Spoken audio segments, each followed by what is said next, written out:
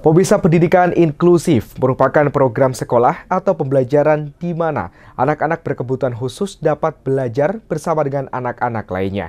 Di Kota Pekalongan, Jawa Tengah, salah satu sekolah yang menerima anak inklusi yakni SMK Negeri 1 Pekalongan.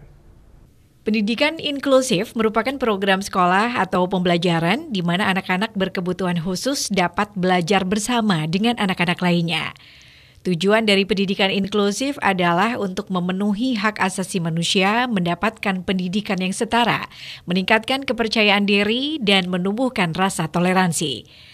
Sebagaimana arahan pemerintah Provinsi Jawa Tengah menyiapkan seluruh SMA dan SMK negeri di bawah kewenangan Pemprov Jawa Tengah mengadaptasi pendidikan inklusif, calon siswa inklusi atau berkebutuhan khusus kini bisa masuk ke SMA atau SMK negeri di Kota Pekalongan. Salah satunya di SMK Negeri 1 Kota Pekalongan.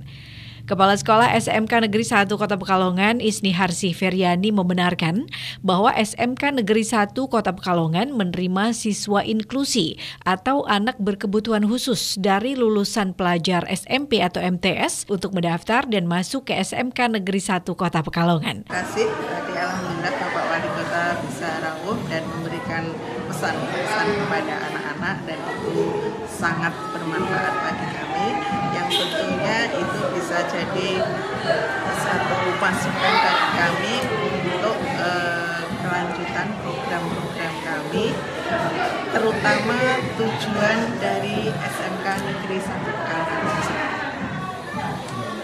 Apa yang pertama kami melakukan satu wadah yang disebut pamong budaya positif. Itu harapannya eh, anak-anak uh, bisa disiplin, terbentuk karakternya dari sana.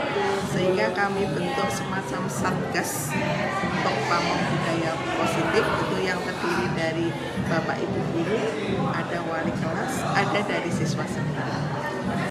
Pihaknya berharap dengan diterimanya anak-anak inklusi di SMK Negeri 1 Kota Pekalongan ini, mereka bisa memperoleh pendidikan dan mengembangkan potensinya selayaknya anak-anak pada umumnya. Rafid Fajri, Batik TV melaporkan.